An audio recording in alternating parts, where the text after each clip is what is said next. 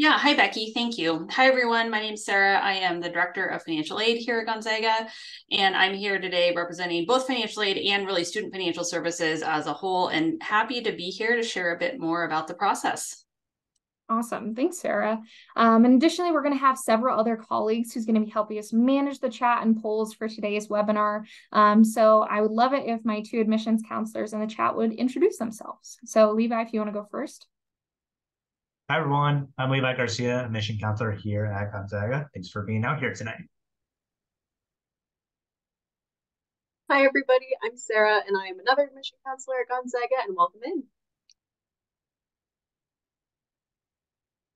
Awesome. And then if we could have our financial aid staff, um, Kelly, if you would like to go first. Sure. Thanks for having me. Um, my name is Kelly Wentz, and I'm the Associate Director of Student Employment here. Excited to answer some questions for you. And then we actually also have Helen Van Blair come with us. She's our office manager here in Student Financial Services, and she's also anxious to answer your questions as well.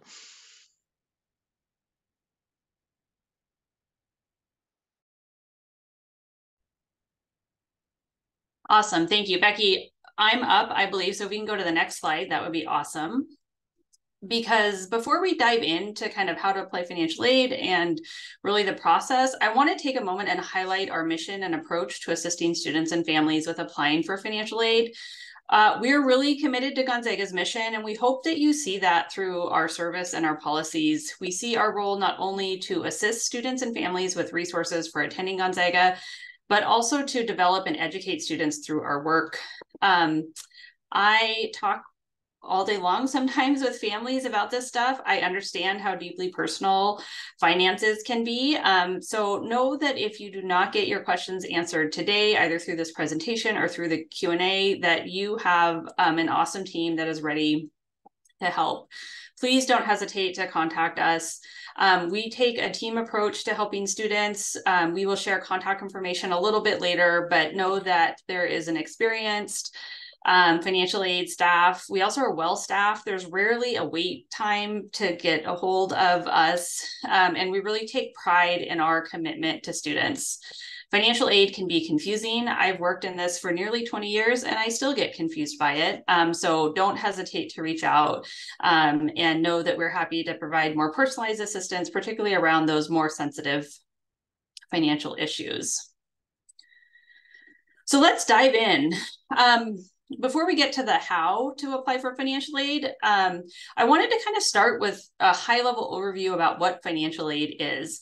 And essentially, the broadest definition is that financial aid is funded funding, providing provided to students to help pay for post-secondary educational expenses or another way, you know, college or higher education expenses.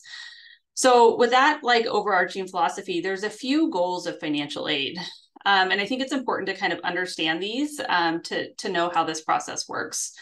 The first goal of financial aid is to distribute limited resources. So unfortunately, college isn't free um, for most people. Um, generally, families are having to pay some amount to attend school, and the resources that are available for college are limited, and that includes resources from the school, from the government, um, and from other sources. So that's one of the, the purposes of this whole application process is to figure out how to distribute resources. Part of that too is to ensure that there's an equitable evaluation of a family's ability to pay. Um, so you're, you're going to hear us talk about the FAFSA application, um, and that's important and allows us to kind of measure all families using the same methodology. But really more important, and, and one of the reasons I really love this work is that we get to assist students in realizing their goals of attending college or choosing a college, of accessing college, and then sort of um, being retained at that college and, and seeing them through to graduation. So um, those are just kind of the broad overarching goals. And you'll hear me say this a few times through this webinar, but I also think it's really important to note that college financial aid offices like us at Gonzaga, we're required to coordinate financial aid for all of the students that attend Gonzaga. And that's important because you might be getting financial aid communication from different resources, um, but know that all of it kind of comes together through the school's financial aid office. Awesome. And before moving on to any different types of financial aid, um, we just wanted to highlight some information specific to our international students. So I saw that that um, question just popped up in the chat. So hopefully this helps get some of your questions answered. Um, but first things first, uh, for international students who apply through Gonzaga Global, there's going to be some differences in the range of scholarship award amounts um, and eligibility eligibility for GU institutional scholarships. Um, so first year and transfer international students who apply through the standard route, non-global, um, they're going to be eligible for GU institutional scholarships that do not require the FAFSA. Um, so those international students are still eligible for some of our application-based scholarships, mostly based on like merit and everything to do going into your application for that holistic review process as well. Um, but definitely one of our big things is make sure you review um, uh, gonzaga.edu slash international for some more more information about that because it really provides like all the different resources when it comes to financial aid for international students. So definitely a good website to check out have in your back pocket going through the um, international student admission process too.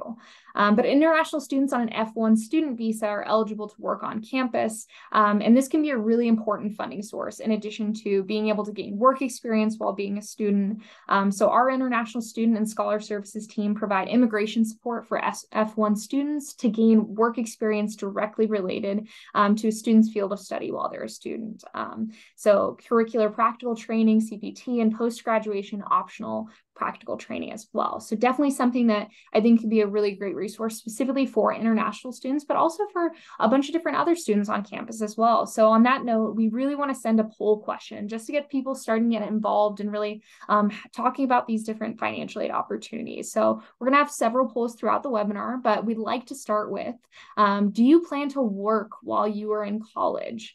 Um, so we're going to have that question launched in our on um, online, and please feel free um, to check off one of the answers to that question. We would love to see um, your results too. We'll give you guys a few seconds to start answering that question. Um, just take a moment. Do you plan on working while you are in college? Um, so I'm seeing a lot of yeses right now, some not sure's. That's okay. You don't have to know right now.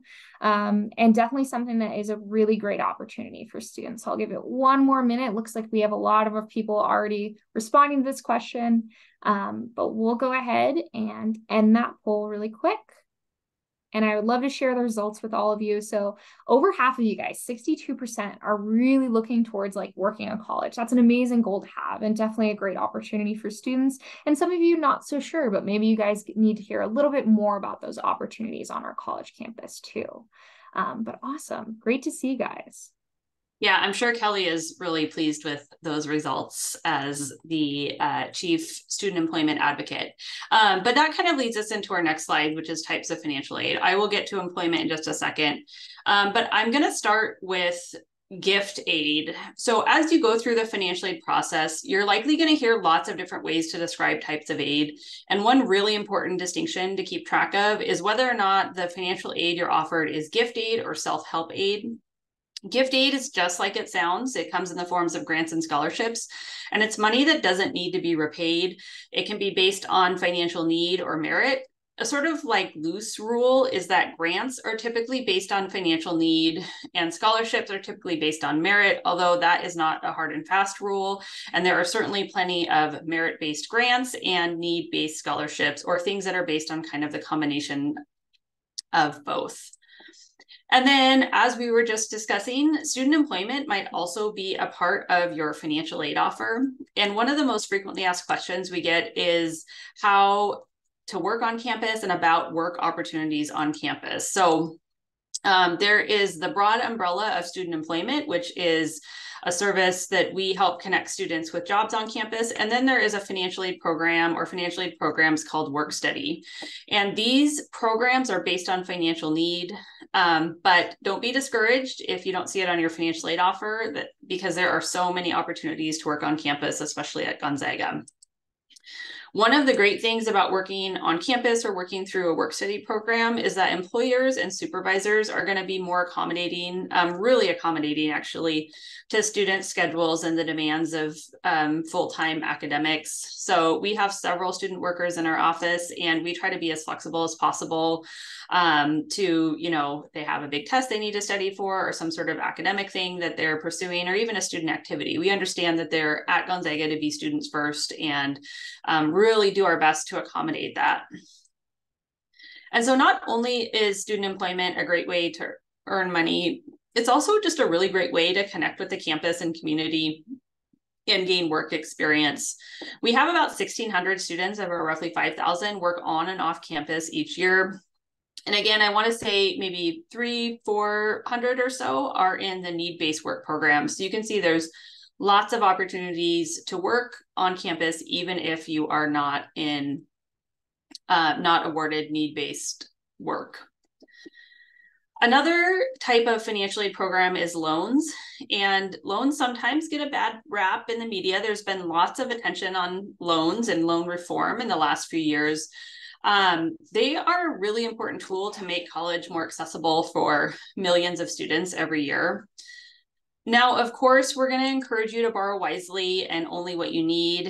Um, and I have a little bit more information later on about more specifics about the different types of loans that might be available through the financial aid process. The other um, types of financial aid that you might consider, and I just kind of dropped these in here. These are kind of specific, but some families aren't aren't aware that there may be additional steps to qualify for those. So, um, veterans education benefits, if you um, or the student's parents are, are military connected, you might want to look and see if you qualify for any veterans education benefits or if there's any remaining eligibility. Um, I was working with a family last year that weren't wasn't aware that they qualified for those and actually ended up getting a fair amount of money through that process. There also may be waivers, like tuition waivers available um, through a parent's employer, or there might be a, a benefit um, through an employer available. So I mentioned these just to kind of plant a seed and see if um, any of those pertain to you. Again, these are going to be other types of financial aid from organizations that you have connections to. So I'll turn it over to Becky for another poll question. Awesome. So, to get us thinking a little bit more about the financial aid process, um, we would love to know in this anonymous poll uh, how many of you guys are planning to submit the FAFSA application once it is released. Um, so, please answer the poll you're going to see pop up on your screen in a couple um, seconds. But it's basically do you plan to submit a FAFSA this year? Um, especially with everything going on with the new FAFSA application. So, we'd love to hear from you guys. So, Awesome. We'll give you a few seconds just to see what you guys are thinking. Awesome. Great to see. Love seeing those yeses. Awesome. Some not sure, some no. Awesome. All right. Looks like we got most of you in. So I'll go ahead and end that poll. And then I'm going to share the results to everyone too, so you guys can kind of check that out. Um, so most of you planning on submitting a, FAFSA application. So that's a really great opportunity for students um, to not only get considered for financial aid, but some scholarships that might require a little mix of both financial aid and merit. Um, so definitely something that we highly encourage students to do, even if you don't think you're going to qualify for any financial aid. Um, definitely no harm in that as well. Thanks, Becky. Yeah, um, a hundred percent. So I there's a couple questions I see I just want to touch on real quick before we get to the sources of financial aid. Um, there will be in just a couple minutes, I will go through the updates for the FAFSA application. So trust that we're not going to leave you wondering what's going on with the FAFSA. We will share everything we possibly can that we know.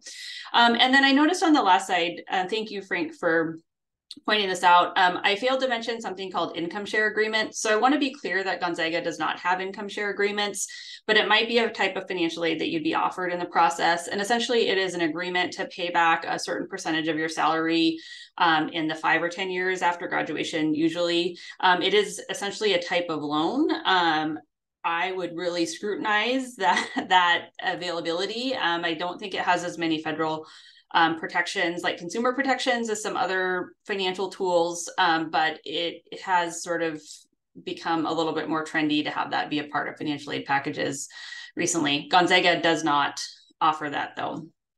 Um, so let's go ahead. I think we need to go back a slide and talk about where all the money comes from. Um, and really, it is a variety of sources. Um, Becky, uh, we just got a sneak peek. Becky's going to talk about how to qualify for financial aid at Gonzaga. And really, most of the financial aid, I want to say, you know, 120 million of the roughly 200 million dollars in financial aid Gonzaga award students comes from institutional aid, which is money that Gonzaga provides to students to attend school. Um, the broader like nationwide stats are that 85% of students at four-year private colleges are receiving some type of financial aid at um, their institution.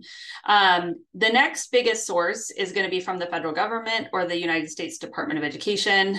And the most popular programs from the federal government are going to be the federal Pell Grant and SEOG grant. And then, of course, um, there are federal direct loans, um, which are, again, a, a big source of funding for lots of students and make college accessible for lots of students.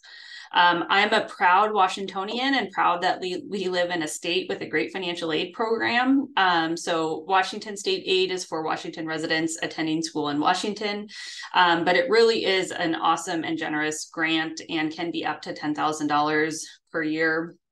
Um, the main grant program is called the Washington College Grant students who committed to being college bound in middle school might also be eligible for the college bound scholarship and then there are some other smaller scholarship programs that are targeted for specific populations like foster youth and that sort of thing. And then I touch on this already. Um, outside scholarships and other sort of resources might be available to students as well.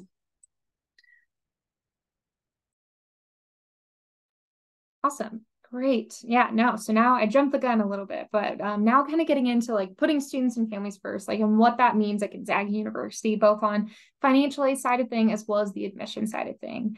Um, but one thing we're going to shift specifically to scholarship. So um, getting into like what we consider in terms of scholarships at Gonzaga. So at Gonzaga, the majority of first year and transfer students receive scholarships to help finance their education. So it's a notably high percentage of this aid came in the form of merit scholarships and need-based grants. Uh, but 99% of our first year students receive scholarships and or grants at Gonzaga University. Um, and 93% of our transfers also receive institutional aid. So just something to note, I know we have a few transfer students um, online today. So just wanting to make sure like we hit you guys as well too.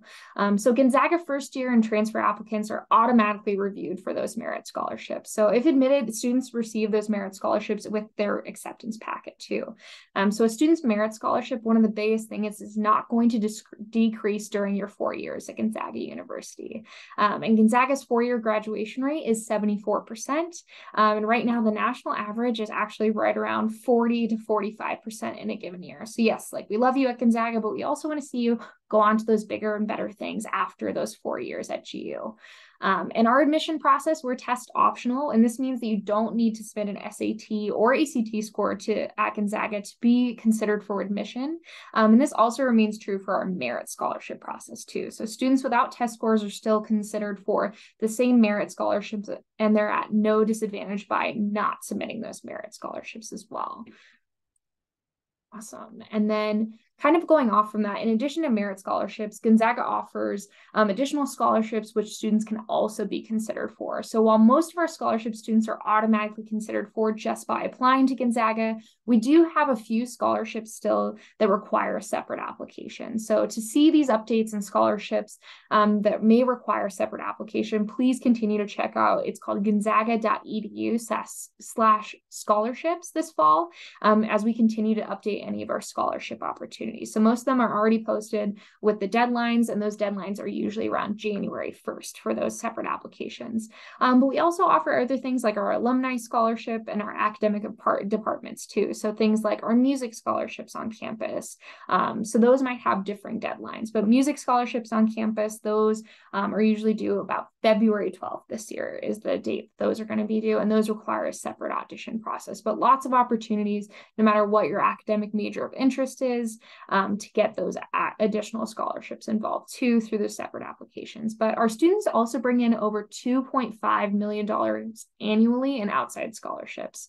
Um, so outside scholarships are awarded by various organizations throughout your community. Um, so common places to search for outside scholarships can consist of churches, service organizations, your parent or guardian's um, employer, and definitely a lot more places to look at in addition to that. But your high school counseling office should be a really great resource for you to use um, throughout that scholarship search process because you never know what's out there until you start looking, right?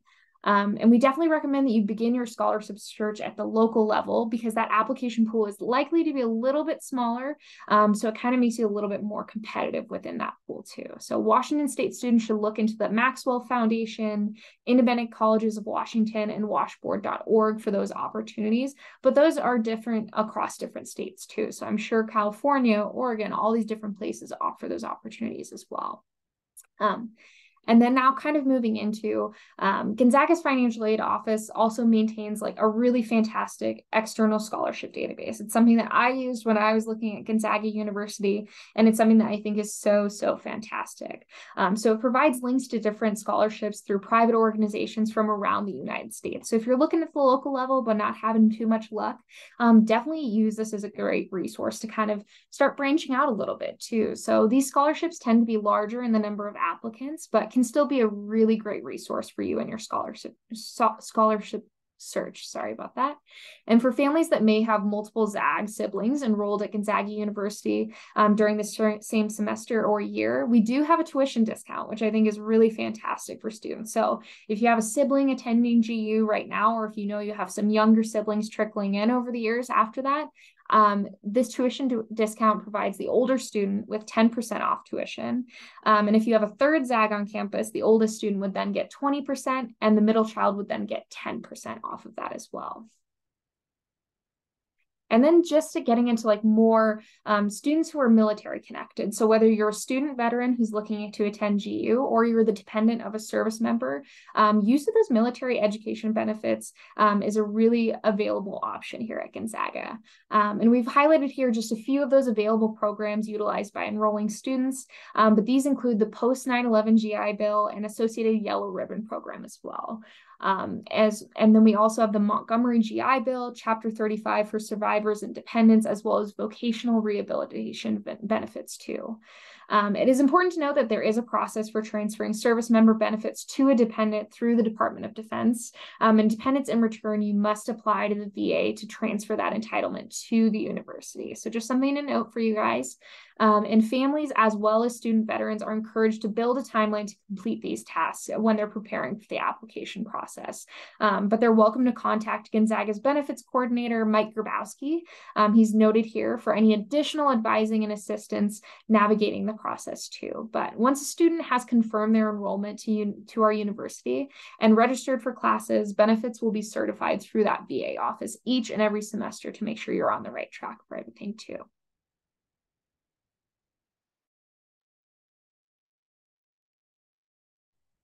Thanks, Becky. Um, let's just take a second to dive into a little bit more detail about loans. Again, we kind of set this presentation up on sort of the resources that we hope that you'll consider first, and loans is again like the the next um, option. Um, we want to see students get as much gift aid as possible.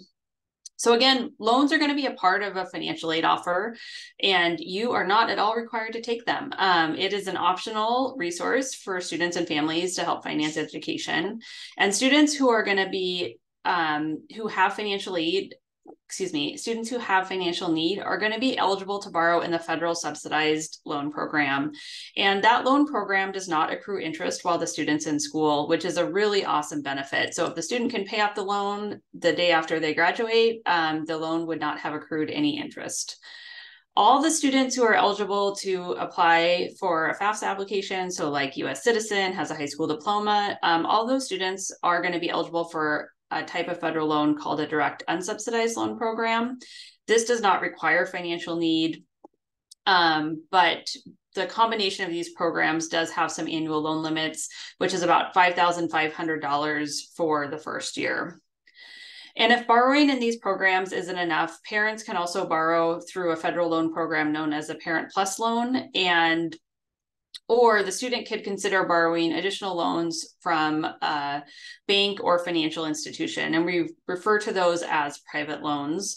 Um, both the Parent Plus loan and private loans are going to require some sort of credit check or the absence of negative credit, but there are sort of co signing options, and it doesn't necessarily have to be the parent co signing with a student in the case of a private loan. So applications for the Parent Plus and alternative loans are not going to be available till the springtime, unfortunately, um, because there is that credit-based component. We have to make sure that the credit check doesn't expire, um, but it's usually available by April. So if you are anxious to know whether or not you might qualify, know that you'll have the opportunity um, in the spring and that we will try to make the information available. And I believe we have one more poll question. Awesome. Yeah, it looks like we have one more poll question coming out. Um, so this poll is going to be only one FAFSA application. It's a true or false question. Only one FAFSA application is submitted during your college education. Is that true or false? A couple true, some false. We're we're seeing the polls go back and forth a little bit right now. Okay, good to see. A lot of you answering in. Okay, all right, I'm going to end this poll right now. Perfect. So I'm ending and I'm going to share the results out. So we got a lot of answers for false. So false is the correct answer. So um, the FAFSA application is something that you have to update every single year um, for those financial aid opportunities. So for those of you that answered true, so glad that you're on this webinar. We can kind of chat through what that looks like too. Um, but definitely something that I did not know when I started at Gonzaga University and I had to go to the financial aid office to chat through my financial aid opportunities. So I'm um, glad we asked the question. Yeah, so the the FAFSA is an annual application, um, and we encourage students to every year. Um, but I will say, and I, I, didn't get to emphasize this earlier, um, or maybe I did, and I just can be a broken record about it. But if cost is in any way a factor for your college decision, particularly in this first year, I would encourage you to submit a FAFSA, even if you don't think you're going to qualify um, different schools use different measures of financial need. Um, and I think even at Gonzaga, there are you know, we often shock families with need based aid when they didn't think that they would qualify for anything. So let's talk about probably the reason a lot of you are on here, which is how to now apply for this financial aid and particularly what's changing with the FAFSA application to sort of just get a baseline understanding, um, let's talk about what the FAFSA is, and then I will get into the changes. So, the FAFSA stands for Free Application for Federal Student Aid. We will almost always refer to it as the FAFSA,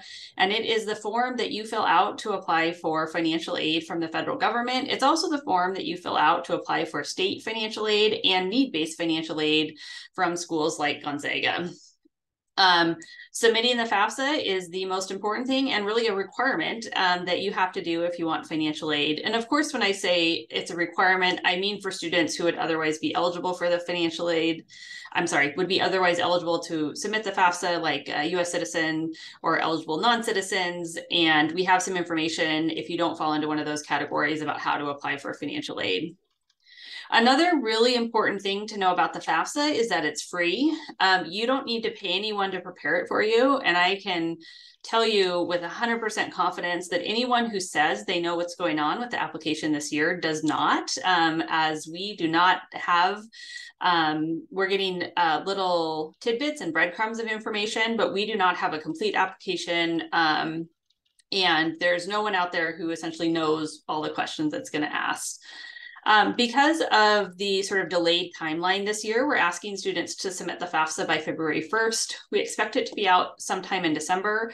Um, I My hunch is that it will be later December, but it should be um, no later than December 31st. And so January is when you would want to mark your calendars um, to submit the FAFSA application for students who are applying next fall.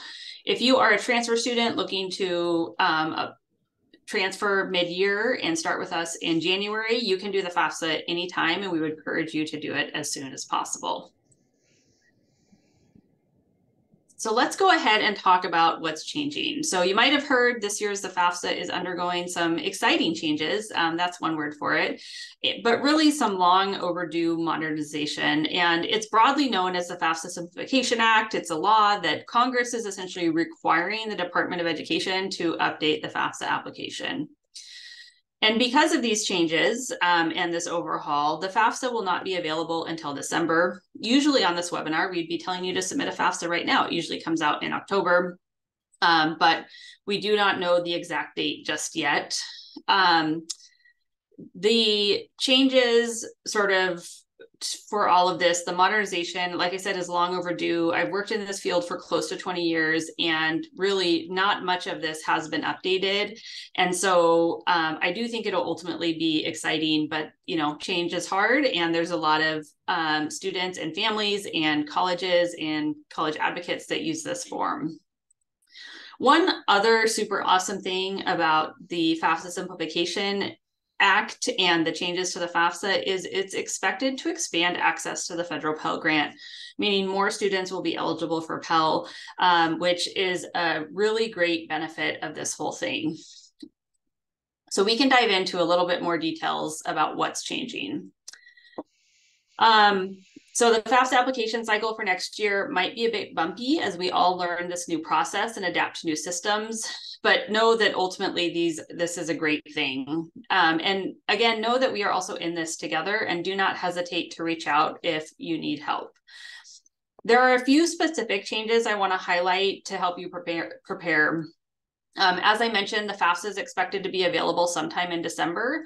When the date is known, I um, can almost bet that there will be a massive uh, public relations campaign from the Department of Education, from schools, from your high school counselors, from other college advocates. So be sure to check your correspondence about the specific date or check in with those helping you uh, with the college process. Another change is the label for the output from the FAFSA. Um, previously, it was known as the expected family contribution, or I guess currently it's known as the expected family contribution. The name of that label is changing to the student aid index. The methodology is changing slightly, but it's largely the same. And I actually think student aid index is a much better name for this. Um, we use this figure as an index. Um, it is not the amount that families necessarily have to pay the school.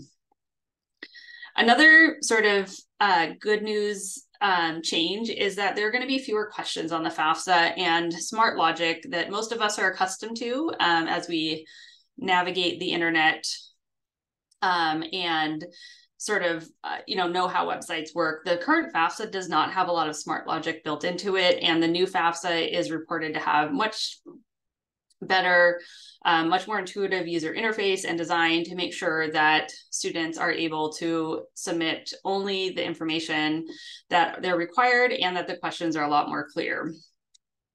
Another exciting change is that information on the FAFSA is going to be transferred directly from the IRS to, to, schools.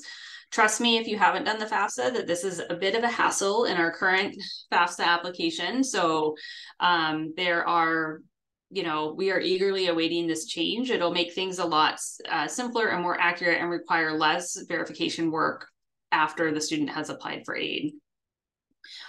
And finally, there's some new terminology. Um, the current FAFSA sort of works like one application. Going forward, um, it, it, essentially will be one application, but it's more clearly divided up into three parts um, or two parts based on who needs to contribute. Um, we'll talk about which parent or parents will be on the FAFSA application here in a second. Um, but generally speaking, there'll be a student contributor as well as a parent or parent contributors. Um, and then because the of the direct data exchange between the IRS and the FAFSA application, there is um, taxpayers essentially have to provide consent. Um, so essentially that's just granting permission to the Department of Ed to send your tax information to the FAFSA. So all in all, good things, um, but it is change, and there's lots of people who are going to have to learn how to use this system in a very short period of time. But I am confident that we can get through it together. So I will turn it over to Becky to talk about other applications for students who are not eligible to submit a FAFSA.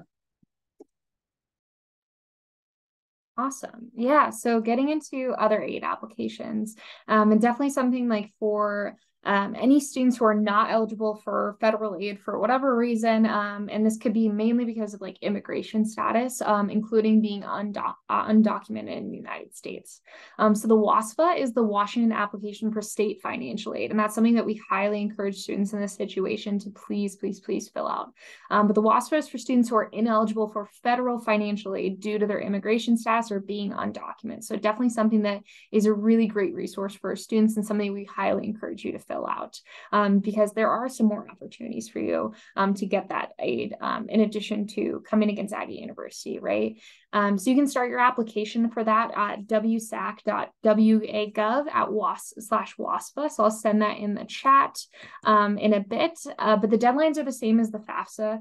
Um, but one of the biggest things for this year, since we're not sure when the FAFSA is going to come out, um, we're still waiting on exactly when that WASFA deadline is going to be as well. So definitely something, if any of my financial aid folks know the exact date, um, but I, I, as far as I last heard, um, we're still waiting to hear about that too. So feel free to chime in in the chat if you do know the date. Um, and then the needs analysis forms for non-residents of Washington State who um, want to be considered for additional Gonzaga financial aid. So the needs analysis form must be completed and submitted to the financial aid office by emailing it to finaid at gonzaga.edu. And this needs analysis form only needs to be completed once during a student's enrollment to be considered um, for those different um, financial aid addition, in addition to what you're having as well. But um, we do have another poll question coming in, um, and then feel free to keep on sending questions in the Q and A function. Um, but one of our poll questions coming up is: you shouldn't file. It's a true or false again, but you shouldn't file a FAFSA if you think your family makes too much money. That's a true or false. So feel free um, to answer that question, and um, we'll wait to see the results. But it's you shouldn't file a FAFSA if you think your family makes too much money. Awesome. So lots of, there we go. Lots of responses coming in. All right. So I'm going to end that poll and then I'm going to share the results to you all. Um, so yeah, most of you got said false, which is great. Um, so definitely something that if you don't think you're going to qualify for financial aid because you're worried that your family makes too much money, um, one of the that's one of the biggest misconceptions. It's definitely something anyone who you know anyone should fill out their FAFSA when applying to college. So definitely something we want to um, stress throughout this process, and definitely something that even if you're afraid that like you're not going to make your family makes too much money, that's definitely something to still um, fill out and make sure you never know what opportunities are out there for you as well. I'll stop sharing.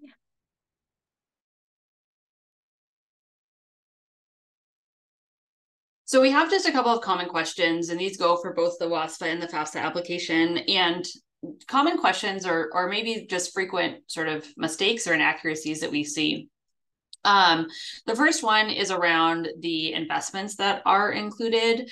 Um, and this wording is a little awkward, but the, the question is which investments are excluded. So, meaning that you don't have to include, and you do not have to include um, retirement accounts on the FAFSA. So, um, IRA, 401k, you do not have to include the value of those on the FAFSA application, nor do you have to include home equity or the primary residence um, the primary residence value of the home that you live in. Um, we see lots of families sort of over reporting this information and um, you know it might sort of inflate a family's ability to pay but those are not requirements for the fafsa application the next question and this is actually changing with the new fafsa is who what parent is required to be on the fafsa um, so let's sort of take the case of a student who lives with both of their biological parents or both legal parents. And if that's the case, both parents' income information are going to be on the FAFSA, regardless of whether or not those parents are married or what the gender of the parents is, if those parents are living together.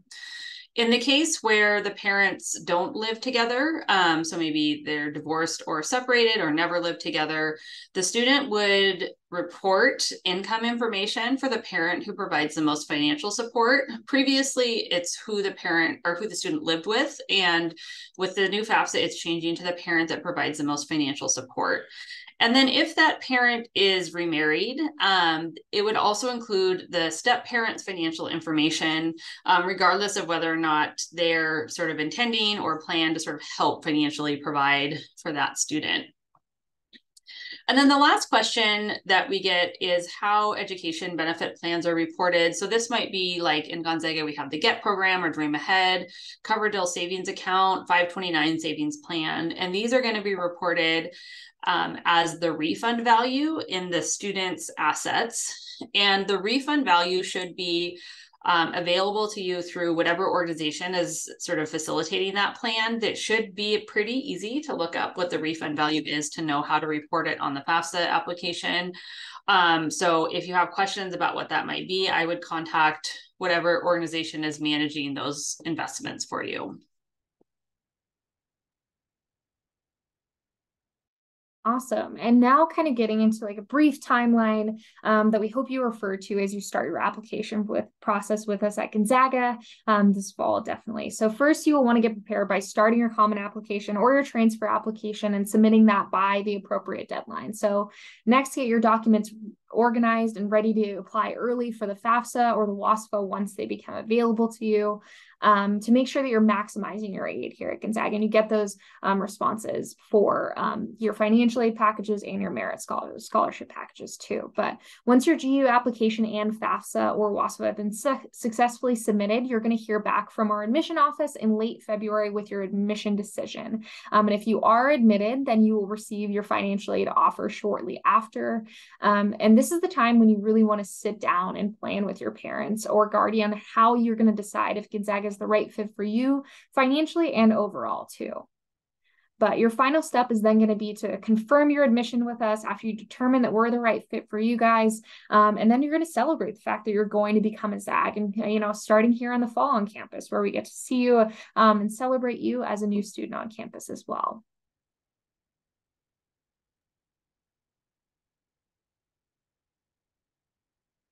So, of course, we need to cover kind of costs and what it might cost to attend Gonzaga. And one of the terms you're going to hear about as you navigate the financial aid process is the cost of attendance, um, which is super important. So, of course, it's a great idea to have an understanding of how much it's going to cost to attend a given school. And while we can't be super precise, particularly at this point in the process, um, there should be information available um, at all schools under what's called the cost of attendance. This cost of attendance is an all inclusive figure. And when we talk about cost of attendance, we're really referencing two types of charges or, or costs that your student might incur. The first is direct costs, which I think are pretty obvious, but this would include things like tuition and maybe room and meal plans if you're going to be living on campus. But then there's also included in this total cost of attendance are indirect costs, which are items like books, transportation, personal expenses, and technology like a laptop. Um, these indirect costs are not things that Gonzaga is going to charge you directly. Um, they are just costs that might be incurred, but we're required as financial aid offices to include everything in this cost of attendance.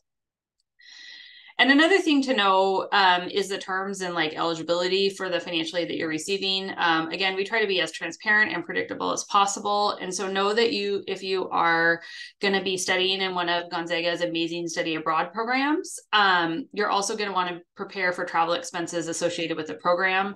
If you're going to be studying in a sponsored program or like Gonzaga in Florence, which is technically still a Gonzaga program, your financial aid will transfer um, so that is a great benefit that um, students have at Gonzaga. Um, we in the financial aid office have an out-of-pocket cost worksheet um, that we will publish when we know more specifically the cost for next year. And it is a great way to kind of understand the direct and indirect costs and figure out a budget with your family. Awesome. And one more thing to touch on is um, here at Gonzaga, we have something called the Gonzaga Guarantee. So I saw it pop up in the chat in the Q&A a while ago. Um, but basically, we guarantee that all Gonzaga institutionally awarded funds upon entry to the university are going to remain the same throughout all four years and are not going to decrease during those four years at Gonzaga. So this includes need-based university grants as well as both merit and application-based scholarships too. And then one other thing I really want to touch on is the Gonzaga Access Pledge. So as a Jesuit school, um, Gonzaga is committed to doing more for others. And that's one of our really big things for students is making sure that if you want to come to Gonzaga and you're passionate about being a student here, we want to make sure that that's going to be possible for you. So we have different forms of those merit scholarships, financial aid, everything we've talked about. Um, but one other th cool thing that we have is with all these different forms of financial aid we've covered today, um, we work hard to make sure that Gonzaga is going to be a possibility for our students. So one more step that we've taken is the Gonzaga Access Pledge or GAP. Um, and the Gonzaga Access Pledge at Gonzaga awards Pell Grant eligible Washington state residents who apply as first year students to have their tuition covered uh, from a combination of federal, state, and institutional financial aid resources as well. Um, so one good opportunity for our Washington state residents for sure.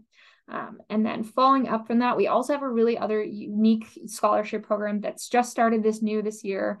Um, and so Gonzaga has another deep commitment to leadership, equity, access, um, and diversity on our campus as well. But our new Unity Scholars program at Gonzaga is launching this year, um, and our counselors are really, really excited for it. So the Unity Scholars program is a separate application-based scholarship program for Washington State residents.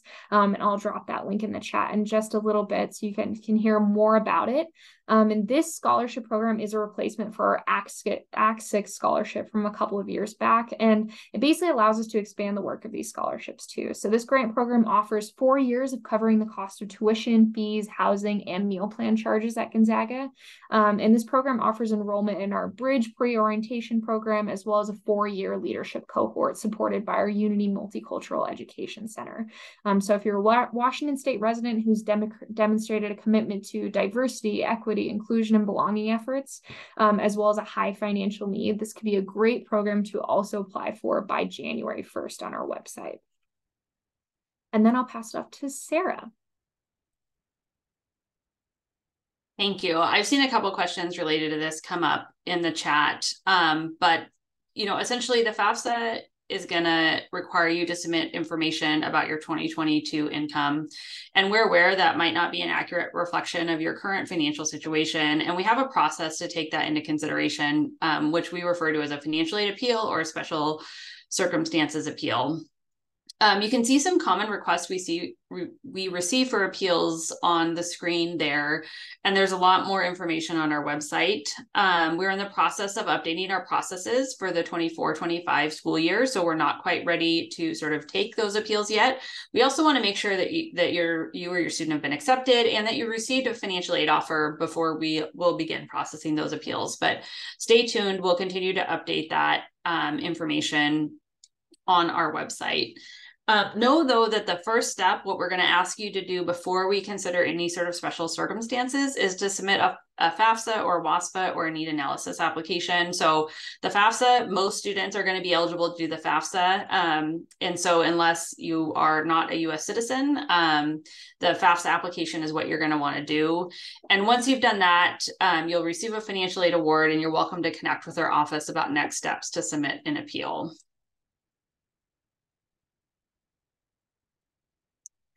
So another helpful office to become familiar with is our Office of Student Accounts. And I know that for many of you, this feels like a long time away, like you'll start to engage with student accounts in July, but there's some families who are really curious about kind of payment options and how it all works. And so we like to just take a minute and highlight sort of what our student accounts office does. So they are responsible for preparing and distributing billing statements and doing the collections for tuition fees, room and board, and um, other fees that students might incur during their time at Gonzaga.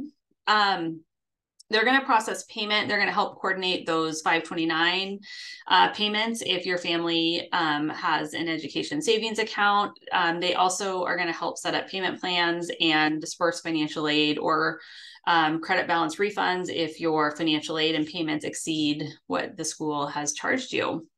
Um, it's really important. Um, and again, we're going to plug this all throughout the process that you maintain effective communication. Um, Student Accounts Office is great, um, and they're really committed to helping students and families in pursuit of their educational goals. Um, and know that they are as flexible as they possibly can. And we have many families who use like multiple sort of services here to figure out how to, to make this all work and support their student financially at Gonzaga. And of course, you'll have several options to choose from um, when making payments. Again, we have families that might use a, a, combination of savings or investments, as well as a loan, maybe a parent loan and a payment plan, and know that all of those things can be accommodated. And when you are ready to discuss those, um, our student accounts team will be happy to help you do that.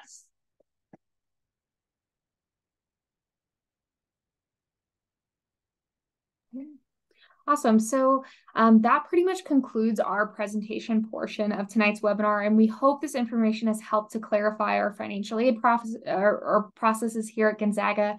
Um, I saw a lot of question and answers um, in the chat, but um, I hope this gives you a sense of what you and your family can prepare for financially here at GU. Um, but now it's time to address some of those questions um, left in the Q&A chat. So feel free to drop any last minute questions in there, but hopefully we can get a couple last minute ones answered for students. Um, so we'll take a look and wait on those. So I see Sarah's answering one of the questions on needs analysis forms. Um, uh, Becky, can I um, just highlight some of the stuff on the screen real quick definitely. on our slide? So one of the things, just kind of tips for success, is know that this is true both in the admissions world and the financial aid world. Is as deadlines uh, approach, we tend to get busier. So by and large, we'll we are well staffed and have systems in place to help make sure people get answered. But um, it's super helpful when you can start those things early and start to figure out what questions you might have so you're not panicked on a deadline trying to get a hold of, of someone in an office. So um, especially now um, you guys are already ahead of the game listening to this webinar and getting information but um, starting the applications as early as, as possible is great and then the other thing I would just like to highlight here is there are lots of people who will gladly take your money um, without much in return, particularly around this this college access stuff. So be wary of anything that sounds too good to be true, like millions of scholarships unclaimed, or where you have to pay for a subscription to apply for a scholarship. The other thing I'd like to point out, and I say this because I have a teenager as well, a sophomore in high school, is that sometimes the scholarship applications are really just sort of like fronts for sort of collecting information. Um, so again, if it seems too good to be true, it probably is. Um, this goes for scholarship applications, for job offers. Um, unfortunately, there's some like bad actors out there who might not be wholesome in their kind of request and maybe trying to, you know, mine for information. So if you're not sure, we're always happy to check the legitimacy or just make sure it's connected to like a, an organization, all of those kind of cybersecurity tips. But just some things to think about as you are um, either navigating this process yourself or helping your student navigate the process. Yeah, that's great. Thank you so much, Sarah, for jumping in um, before we got into any of those questions or anything like that. But definitely one of the biggest things, like just like Sarah mentioned about the financial aid office, like always being available for you guys and definitely like lean on them as a resource, even about like financial aid in general, not just for financial aid at Gonzaga University. And I think that's something that is really unique about Gonzaga is really caring about each and every student and applicant that comes through our doors. Um, so if you have any questions, always feel free to like reach out to financial aid office as well as our admissions office because we would love to hear from you guys um, and really be able to answer any questions that you guys might have going through the process. Um, but it looks like we might have a couple questions coming in and one for the Unity Scholarship. Um, so is it worth applying if your family income is below 70% of Washington's median, um, e.g. $80,000 or out of this range? So um, I assume if you mean like um, if you're um, earning more than that $80,000 for, for a family of four range. And I'd say like it's definitely still worth applying to. It's just we're going to give priority to those families that demonstrate really high financial need during the scholarship process. So it's a combination of merit as well as financial need too. So I would say it's definitely still worth applying to, especially if you demonstrate that commitment towards social justice, diversity, inclusion, equity, belonging. Um, if you have a student that's really interested in that, I'd say it's definitely worth applying to as well. But great question.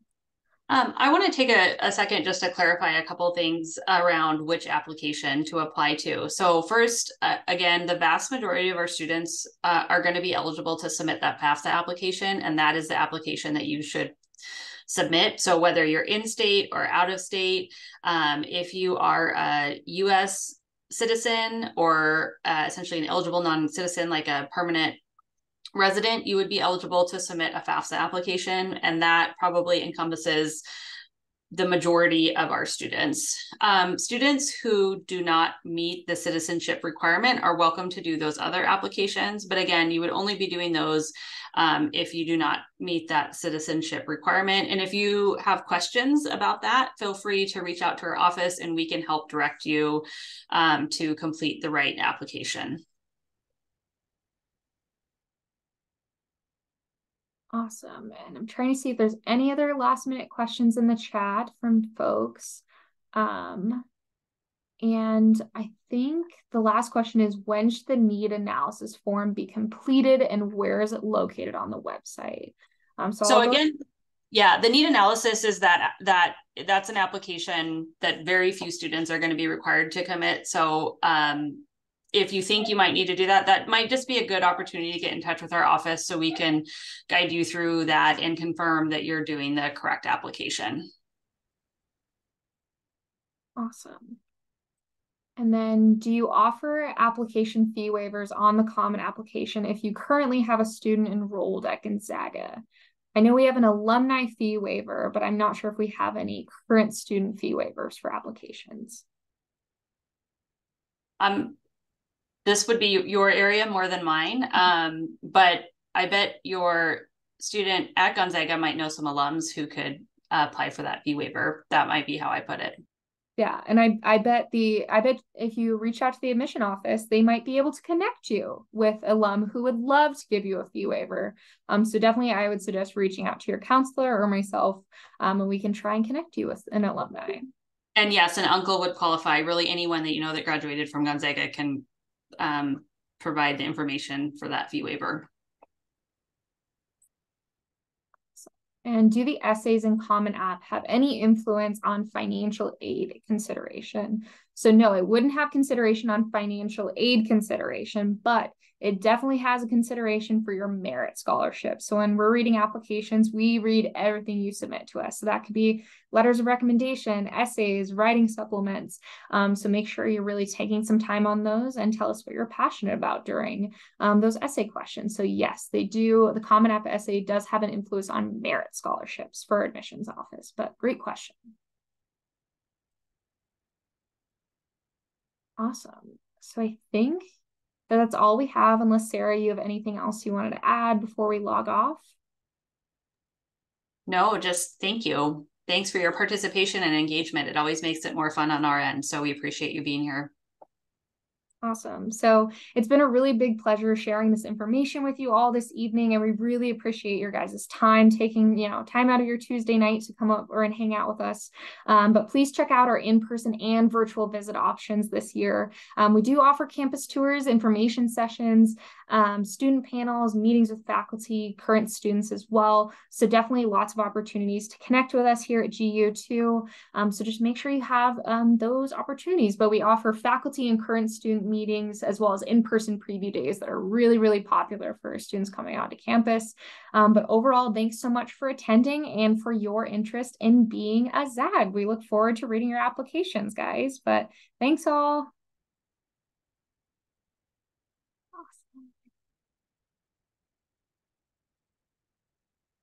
Thank you guys.